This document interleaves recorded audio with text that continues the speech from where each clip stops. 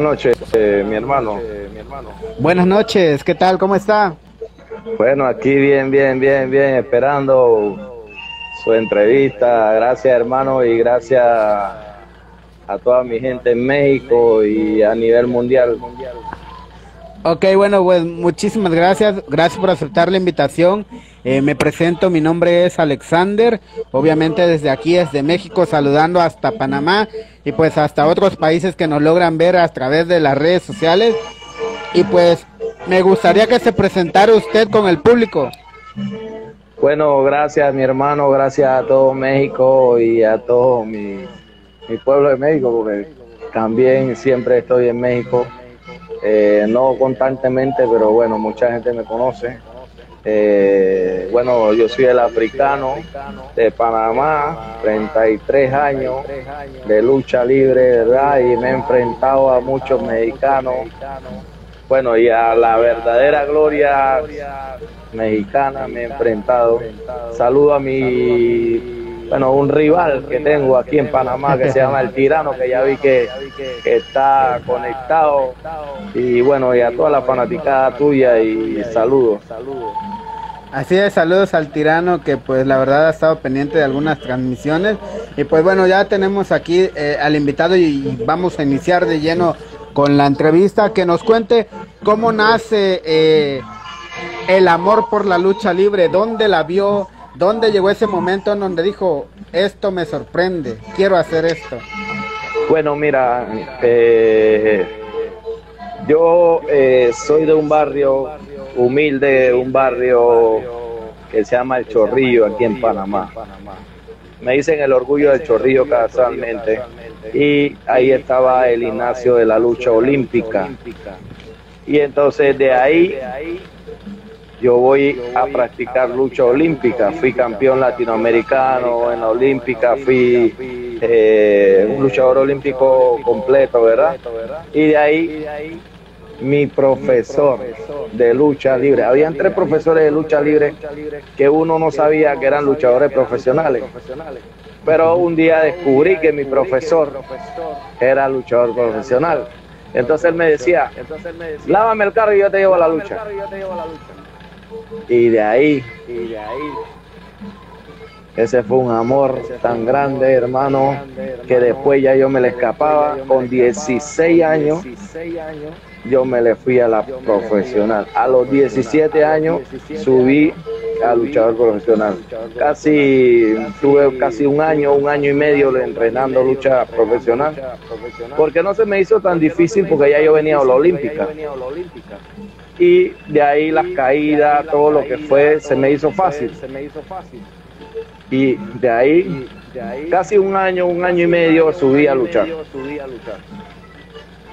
Ok, muy Menor De edad. Eh, ajá, adelante, adelante menor de edad subí a lucha profesional, estaba la comisión. Casualmente, como en estos días, un profesor mío de lucha me decía, me recuerdo mucho cuando no te, la comisión no te dejaba subir como, como profesional. ¿Por qué? Porque tuvimos que, en un programa ya, la, la, comisión de ese muchacho no puede luchar porque es menor de edad y tuvieron que ir a mi casa para que mi papá firmaran un, permiso para apoyo, yo poder seguir luchando. Y bueno, y gracias a Dios, y aquí ya tenemos 33 años de estar luchando. Eh, ¿Su familia estaba de acuerdo que fuera, que fuera la lucha libre su profesión? Bueno, mi papá sí, pero mi mamá no. ¿Y cómo, cómo, cómo logró esa parte? Bueno, tú sabes, ¿no? Ya, ya, ya, ya estaban en el paquete porque los luchadores, como el Celestial, Flamarión, ellos fueron a la casa y llevaron la eh, prácticamente la hoja que ellos hicieran para que la comisión prácticamente me dejara luchar. Y, bueno, ¿qué pudieron hacer? Ya yo estaba en el gimnasio y iba a luchar y, ellos firmaron. Ok, la verdad que bueno que, que hubo al final de cuentas ese apoyo, ¿no? Porque pues al final de cuentas usted era, era un menor de edad. Y ya tocando el tema de la lucha libre, eh, ¿cómo decide su nombre, su imagen? Eh, ¿Tiene alguna referencia o, o, pensó en algunos otros nombres?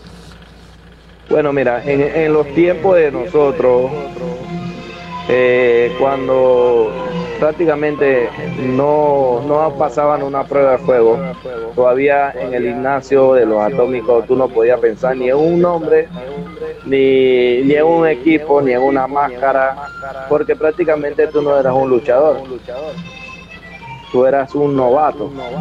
Entonces, el profesor de nosotros, que era Ricardo Díaz, nos decía, muchachos, ¿en qué tú estás pensando? ¿En una máscara? ¿En una? Pero si tú todavía no estás listo. Y ya prácticamente nosotros estábamos listos. Y entonces dice, no, no, no, no estén pensando en, nombre ni, ni nada de eso. Entonces ya cuando yo, ya yo pasé una prueba de fuego, entonces el señor Ricardo Pití, en eso que para descanse, me, se me quedó viendo así, dice, bueno, tú te vas a llamar el africano y te vas a pintar la cara. Yo no, pero yo quiero usar máscara, mire, que esto, que esto. Y me dice, no, no, no, no, tú te vas, tú vas a ser como Zulu. En ese tiempo había un, un, luchador Zulu, eh, estaba Kimba, y entonces ellos les gustaba por mi tamaño y como era moreno, entonces le, le me, me, me, pusieron ese nombre. Pues. El gigante de Ébano, el orgullo del chorrillo, y de ahí eh, eh, subí a luchar a los 17 años. Había, ¿En qué máscara pensó o en qué diseño había pensado? Bueno, no había pensado en ningún diseño porque ellos no te daban pensar ni en diseño, ni en, ni en máscara, ni nada de esas cosas porque legalmente tú no habías eh, pasado prueba de fuego. Ya, eh, o sea que yo cuando yo pasé la prueba de fuego, ese día había una, una reunión en, en la casa del ciclón de la diosa y entonces de ahí él se me queda viendo, bueno, de ahí, pero yo digo, eso va a ser en un mes, dos meses que voy a luchar. Pero bueno, en las la dos, tres, un, mes me pusieron a luchar y legalmente ya ellos mismos me pusieron, me pintaron la...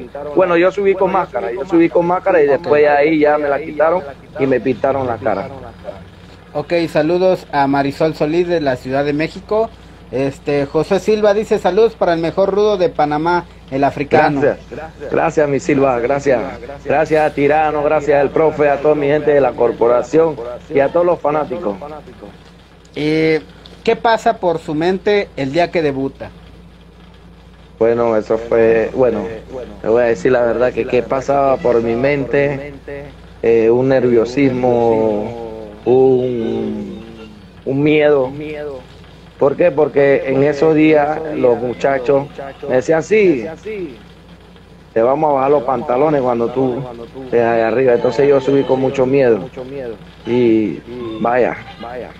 Y bueno, pero fue una de las mejores luchas que hice y la hice contra el varón, eh, el varón y la cobra para el Melo, eh, Melo tercero y mi persona en 1986 un 6 de, junio de 1986. Vaya, entonces vamos para 31, 31 33, no, 30 y algo por ahí. Sí, por ahí, por ahí vamos. Dice, saludos para el africano de su compañero de trabajo Celso Pinto. Saludos Celso Pinto. Gracias mi hermano, saludos.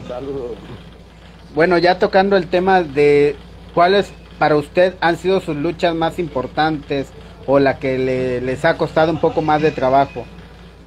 Bueno, mira, la lucha que a mí me han costado mucho trabajo, mucho trabajo, han sido todas, todas, todas, hasta con el más nuevo de, de mis muchachitos acá, eh, vaya, te puedo decir, en la empresa donde estoy, la corporación, todos son duros, de la primera lucha hasta la última lucha. Pero la lucha más difícil para mí ha sido la de Sandokan, Mr. Yad. Eh, uno de mis rivales más grandes fue Mil Máscara. Y bueno, infinidad de luchas que he tenido eh, que han sido durísimas, han sido durísimas por campeonato mundial con el Celestial, eh, con Mr. Yad, una lucha de más de 45 minutos que vaya con remaster y bueno, tanta, tanta trayectoria que hay en la vida que vaya, todas han sido, todas han sido duras, hermano. Ok, muy bien, pues eh, hablando de un poco de la lucha libre, de esa oportunidad de luchar con gente mexicana, ¿con quién ha tenido la oportunidad de, poder trabajar? Bueno, mira, te, voy a decir una de las la última lucha que yo tuve fue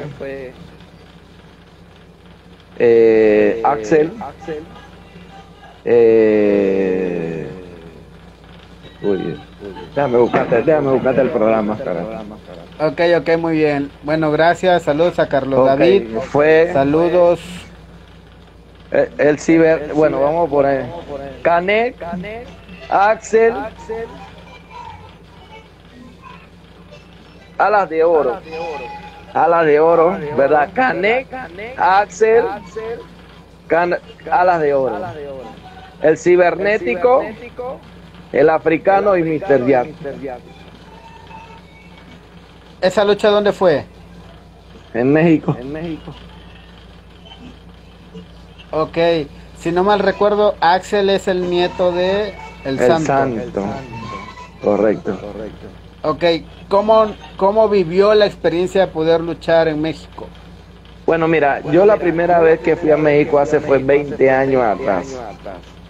Eh, ahí fue donde tuve la oportunidad de luchar contra Fisman, eh, Solar, eh, Canek, eh, Mil Máscaras dos caras.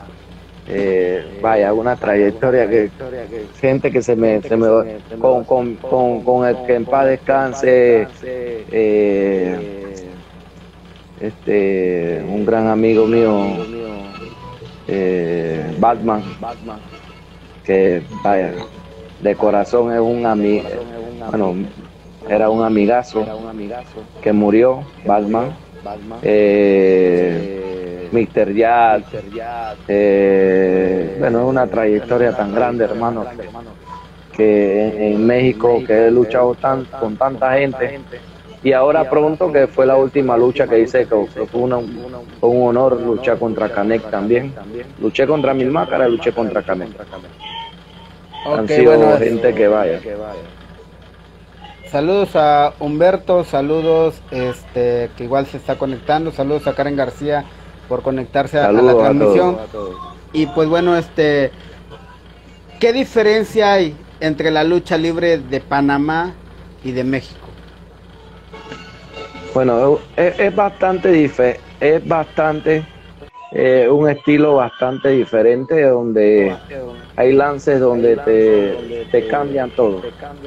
Pero cuando uno aprende bien en la vida, y como luchador no se te hace difícil. Yo he luchado con americanos, con ticos, con y con todos los estilos te voy a decir que vaya, ha sido algo que, en realidad eh, no se me ha hecho difícil porque uno lo aprende. Mira, gracias, gracias al, indio Chamula, al indio Chamula, Mixer Yard, a mí ellos me han enseñado mucho el estilo mexicano. Yo me acuerdo mi hermana, la, la, la nazi, la, la comandanta, que ella cuando me vio aquí en Panamá me dice, este muchachito tiene el estilo mexicano, se lo dijo a Cabrera y de ahí, vaya, cuando llegué a, México, el mismo indio Chamula me lo dice, no, tranquilo, y de ahí yo escogí, y es mira, es como, como la gente dice a veces, no, ya yo la tengo, como lo dicen a veces muchos muchos nuevos, yo la tengo toda, pero ¿qué pasa? que, que hoy en día uno no, no termina de aprender. Yo ahora que fui a México, aprendí más. Cosas que, que, legalmente eh, a veces no las sabía hacer. Eh, y, son cosas bonitas en la vida. Y el mismo indio Chamula me decía, uno nunca termina de aprender, yo tengo tantos años, yo no sé si tú conoces al indio Chamula, un tremendo profesor, igual que el señor Mr. Yard y, y uno nunca termina de aprender, te voy a decir, yo tengo treinta y pico años está luchando y, y, cada día sale algo nuevo y algo bonito. Después que tú aprendas bien. Así es.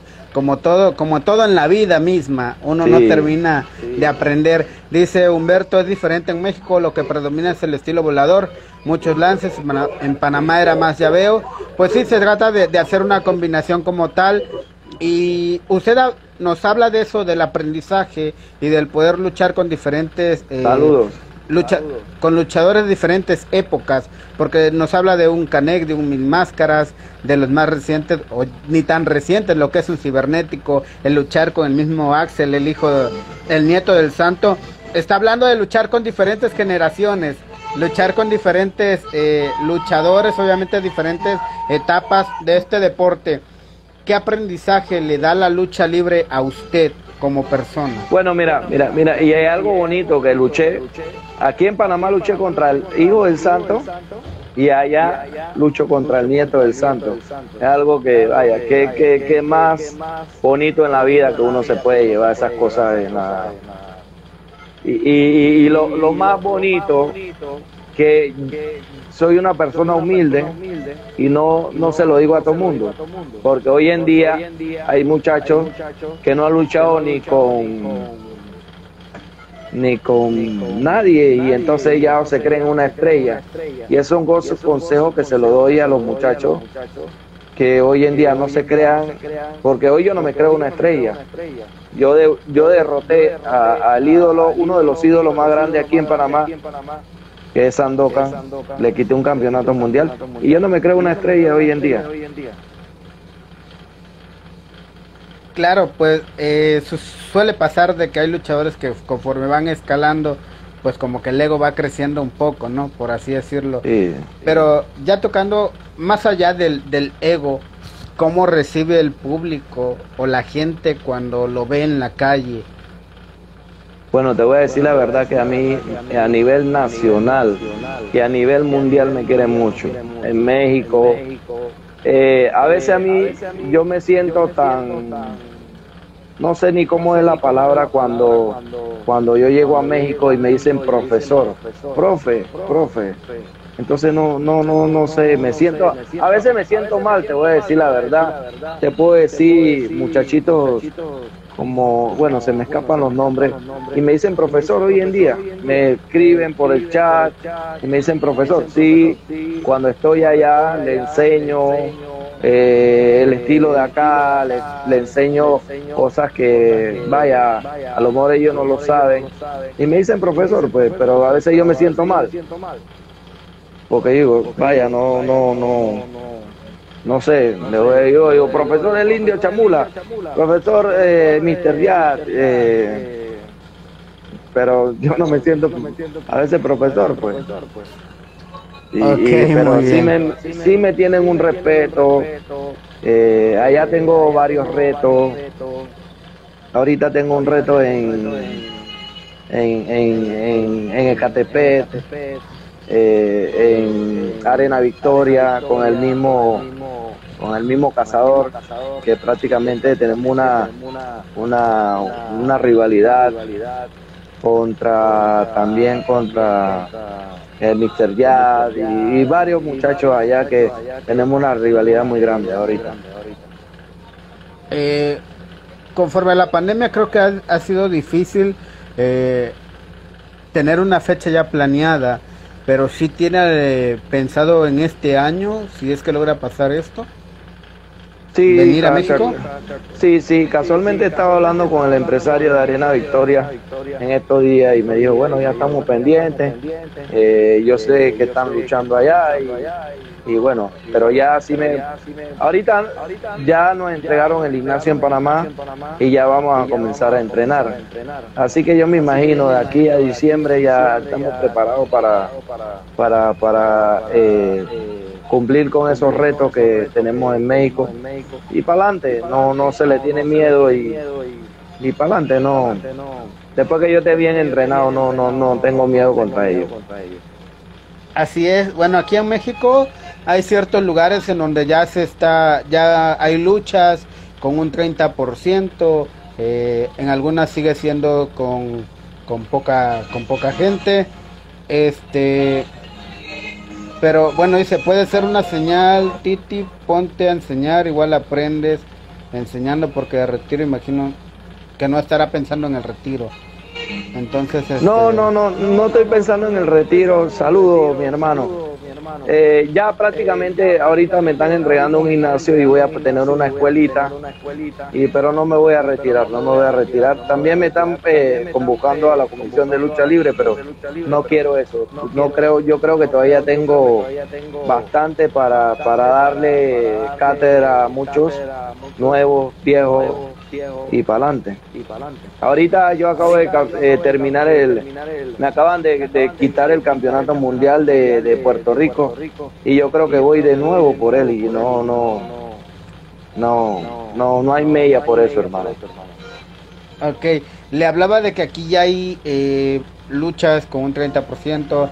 Durante la pandemia hubo empresas o promotoras que hacían sus eventos vía streaming a puertas cerradas sin gente. En Panamá, ¿cómo se vivía este proceso de pandemia en cuanto a lucha libre? En Panamá, muy feo, hermano, muy feo. Eh, varios compañeros, yo también sufrí del COVID, eh, estuve bastante mal y eh, muchos vecinos míos, muchos compañeros, como mi compañero Estrella Blanca que estuvo así al borde de le hice, ¿no? Y, y compañeros que tuvo, tuvieron mal, mi pareja, mi parejota, eh, el soberbio que tuvo, ah, yo creo que tuvo más allá que de acá, fue algo feo y entonces nosotros, la, la corporación ha tenido algo que, mejor vamos a cogerlo con calma antes que lamentemos la muerte de, algún compañero como la hemos tenido en México que vaya cada rato en el grupo donde estoy cada rato de Transmetal de, de Tijuana de toda esa siempre me mandan los hey murió fulano murió ay qué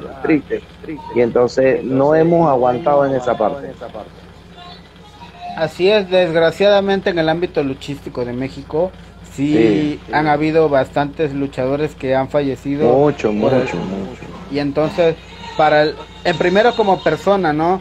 Porque al final de cuentas es un problema eh, más como sociedad que como deporte y si duele porque te toca conocer a alguien o si no es un familiar, es un conocido o un vecino o alguien que le tocó vivir esa parte pero en este ámbito luchístico sí se han ido bastantes y ha sido un proceso bastante difícil en lo económico, en, de la manera personal, en la forma de sobrellevar este tipo, porque incluso es hasta mental, ¿no?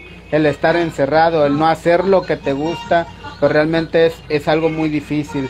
Eh, para hablar de un tema un poco más, este, mejor, por así decirlo, más animoso, en cuanto a Panamá, eh, ¿Cuáles son los lugares que hay que visitar allá? Cuando uno va a Panamá, ¿qué hay que ver?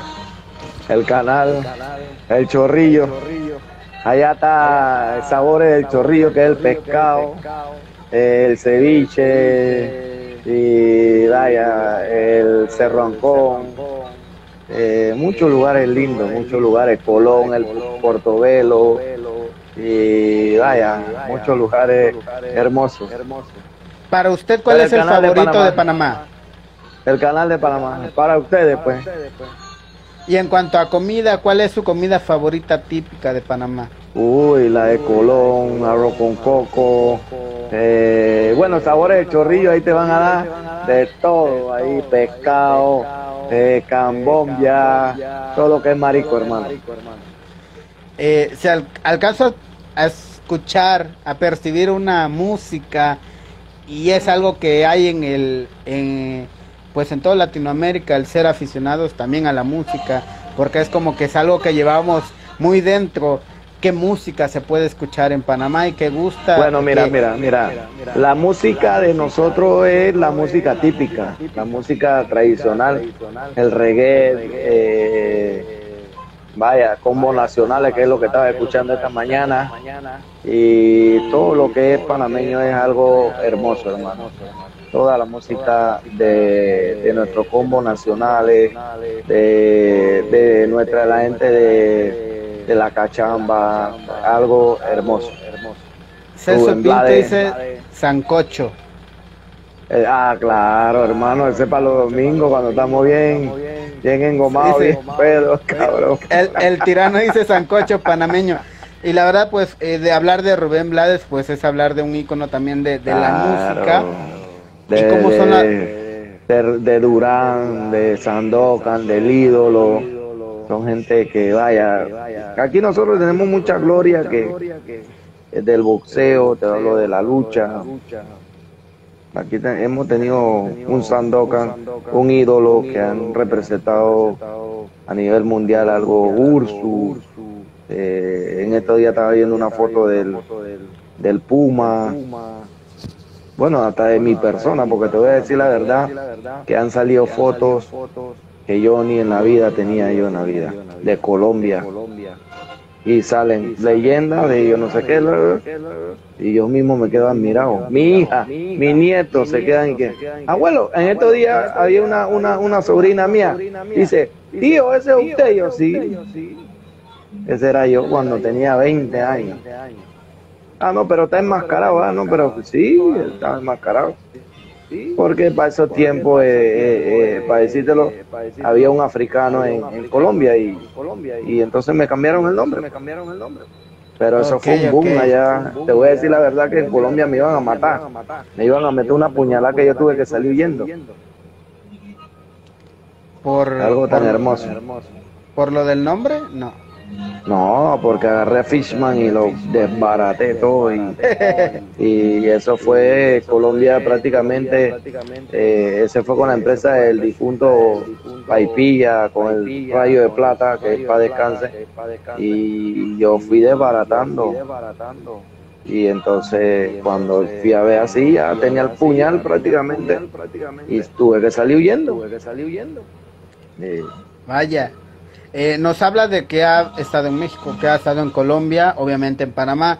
¿En qué lugares más ha estado? Bueno, estaba en Costa Rica, fui una vez a Dominicana, pero Dominicana no pude prácticamente disfrutarlo porque llegué y luché y de ahí a la semana siguiente, eh, bueno, al día siguiente me fui.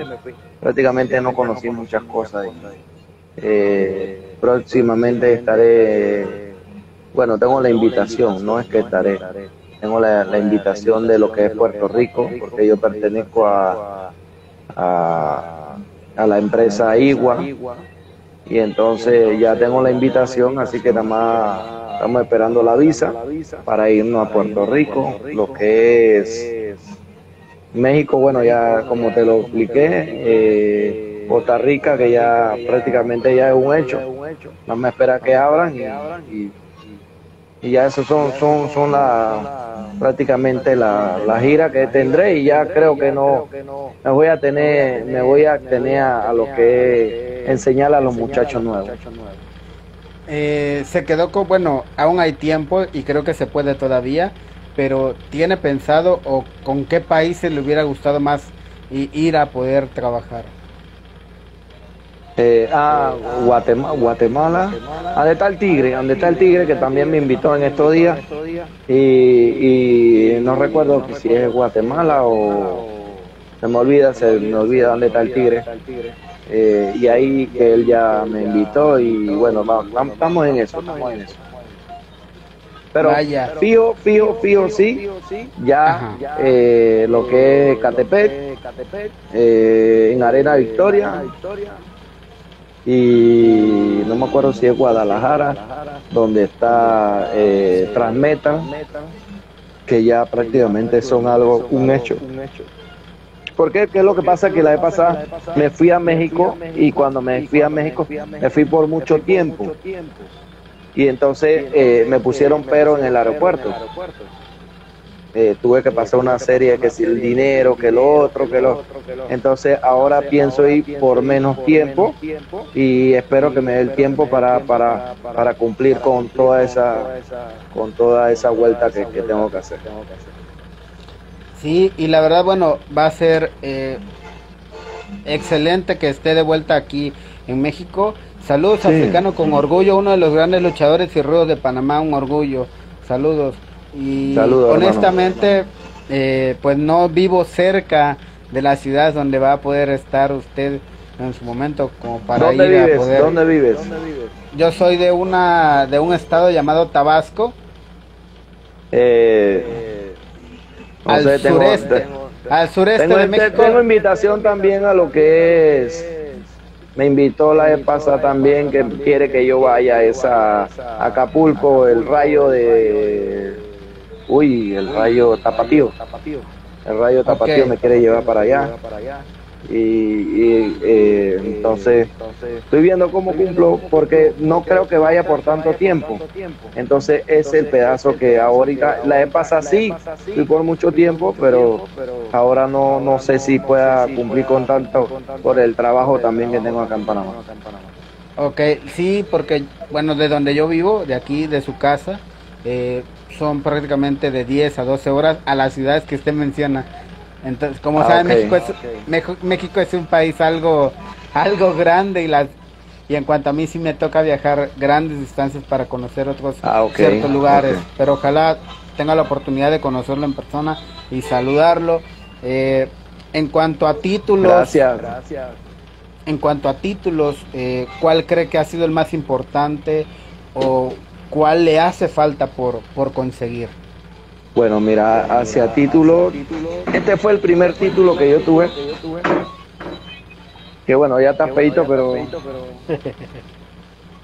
fue el campeonato nacional eh, medio. ¿Eh? Medio. El campeonato nacional medio de, de Panamá. Eh, y entonces, eh, ¿qué pasó? ¿Qué pasó? ¿Qué le pasó? ¿Qué van a hacer? ¿Quién va a manejar mi carro? Ah, ok. Sí. Eh, perdona, disculpa. que- que- No, no eh, eh, entonces, eh, tuve el campeonato nacional medio, tuve uno de México que se lo gané el destructor de ídolos. En esos tiempos, te estoy hablando del ochenta y pico. Estuve el campeonato mundial semicompleto de la WWA, que ese se lo quité a Mr. Jazz en México. Pues tuve el, semico, el semipesado, tuve el pesado. Fui campeón de pareja también de la IGUA de Puerto Rico y ahora campeón mundial de la IGUA de Puerto Rico. Y bueno, vamos a ver cuál se me escapa por ahí, pero he tenido bastante campeonato eh, de México, como de Panamá, igual como de, de Puerto Rico.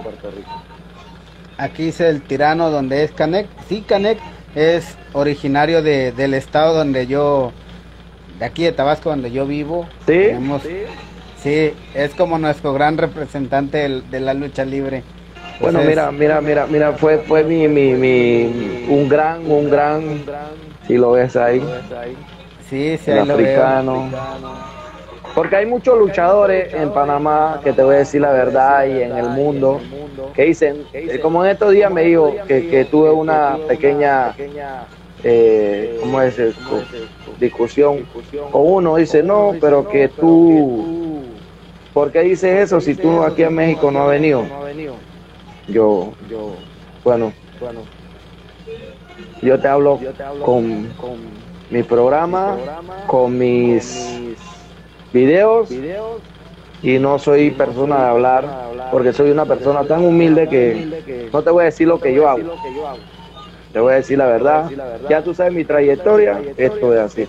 Humildemente, pero bueno, he luchado con toda esa gente, con un, un señor que me tenía mucho cariño, mucho cariño, que decía que yo era su hijo, el lobo rubio. No sé si lo llegaste a oír. No, que hoy en día me dice, me dice Chu el Guerrero, que yo soy su hermano, porque ese era el padre de él. Los brazos, eh, infinidad de el negro, he luchado contra, he luchado en pareja con el negro, he luchado en pareja con, con bueno, el EPAR, pero, pero con otro nombre. Eh, hay infinidad de, de luchas que he tenido que se me escapan de la mente. La próxima vez voy a hacer un, un- un- un, como te digo, y, cosas que, vaya, mira, aquí hay una lucha que... Aquí saludos a la mesa caliente on fire, saludos. Ah, saludos. Mira esa lucha.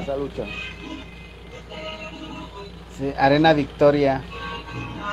Y entonces son cosas que no, no, no, dirán la gente, ah, no, es mentira. Porque ahí hay luchadores que, que sí te dicen, yo voy a tal lado, voy a tal lado y soy, soy, entonces, y es mentira, ¿me entiendes? Así y, y, yo no, no soy de esa persona que, que te digo lo que no he hecho en la vida. En, en, en, en Costa Rica me he luchado, he luchado con los grandes como Thor, eh, Villano, y, él luchó con los grandes. Igual en Dominicana conocía a, a, Rafi Sánchez, conocía al difunto ahorita que acaba de morir, allá Veneno. No luché con él, pero sí lo conocí. Eh, lo conocí en Colombia, Rafi Sánchez. En, en, Colombia estuve mucha mucha guerra con, con, lo que fue el Rayo de Plata, eh, con Fishman y infinidad de cosas que se me olvidan, te voy a decir la verdad. Y aquí en Panamá, gracias a Dios, me he enfrentado a los dos más duros, que fue el ídolo viejo y Sandokan. Y de ahí te puedo decir lo demás, todo el Puma, Flamarión, Celestial, eh, ídolo, dos ídolos, Disbesma que me quitó la cabellera, eh, y me he enfrentado a los más duros aquí, me sigo enfrentando a Redmaster, a, a todos, al varón, a todos, todos tienen que ver cómo, cómo vienen contra mí, te voy a decir la verdad. Vaya, qué interesante. Eh, bueno, nos habla de que ya tienen nietos y todo. ¿Le gustaría que hubiera un sucesor? No, ya hay, ya hay, ya hay, ya hay. Mi nieto ese, mi nieto, mira, te voy a decir la verdad, no por, mi nieto rompe la caída mejor que un poco de que, que se llaman luchadores aquí en Panamá. Sí, te voy a decir la verdad. Tú, te, mando un video ahorita de mi nieto rompiendo una plancha con tres años y rompe la plancha mejor que luchadores que aquí son tres veces campeones mundiales, con campeones mundiales, campeones nacionales y, y, se llaman ser, ¿cómo te digo? Estrellas y no saben romper caídas, no saben, eh, no saben lo que es una lucha libre de verdad.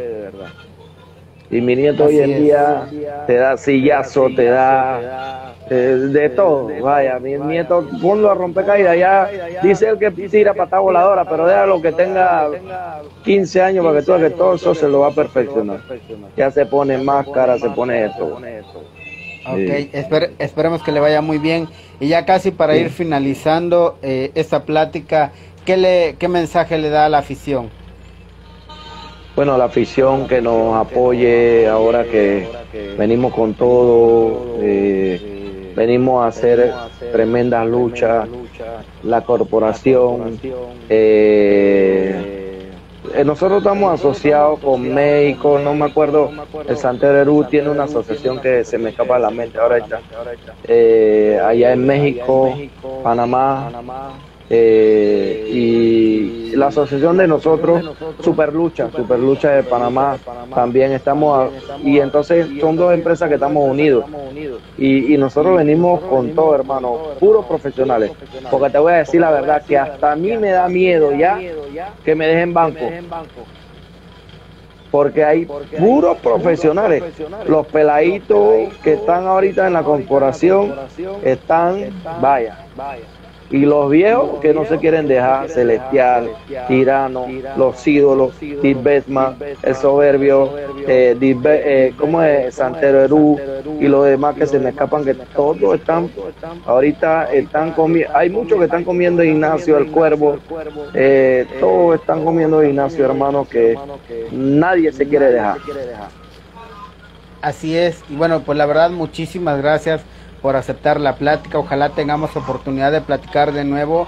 Honestamente ya he tenido oportunidad de platicar con, con Vale Cuervo, con Azor, con Marabunta, ah, con Carlín. Hemos, tenido la hemos tenido la oportunidad de platicar con ellos. y la verdad conocerlo usted ya aquí de manera virtual. Gracias. La verdad es un gran honor y ojalá tengamos Gracias. oportunidad de platicar de nuevo. Muchas gracias. Gracias. Gracias a usted, hermano. Saludos. Y saludos a todos mis fanaticadas. Saludos a mis fanaticadas en México. Saludos a, ni- a nivel mundial. Y Dios me lo bendiga y me le dé mucha salud y prosperidad. Así que bueno, estamos pendientes. Muchísimas gracias por aceptar la plática y cualquier cosa Igual. estamos al pendiente. Saludos, hermano. Hasta luego. Bueno.